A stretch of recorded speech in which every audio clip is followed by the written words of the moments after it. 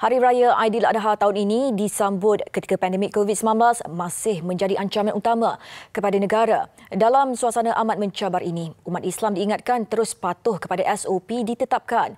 Di Ibu Negara pagi tadi, Perdana Menteri Tan Sri Muhyiddin Yassin menunaikan solat sunat Aidiladha bersama 300 jemaah lain di Masjid Negara. Beliau yang berjubah putih tiba kira-kira jam 8.16 pagi bersama isteri Puan Sri Nuraini Abdul Rahman. Beliau disambut Menteri di Jabatan Perdana Menteri Hal Ehwal Agama, Datuk Seri Dr. Zulkifli Muhammad Al-Bakri serta Imam Besar Masjid Negara, Ehsan Muhammad Hosni.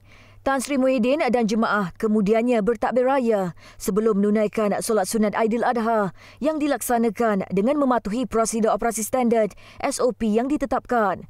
Sementara itu, ketika menyampaikan khutbah Aidiladha bertajuk cabaran dan pengorbanan. Ehsan berkata, Allah menganugerahkan pelbagai kenikmatan kepada Malaysia, termasuk menyambut Aidiladha hari ini dalam suasana pandemik.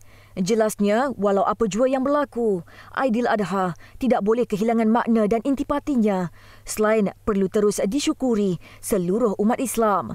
Khutbah itu juga mengingatkan pemimpin supaya menumpukan sepenuh usaha dan tindakan dalam mengekang penularan wabak COVID-19 kena bagi keutamaan kepada mereka lah.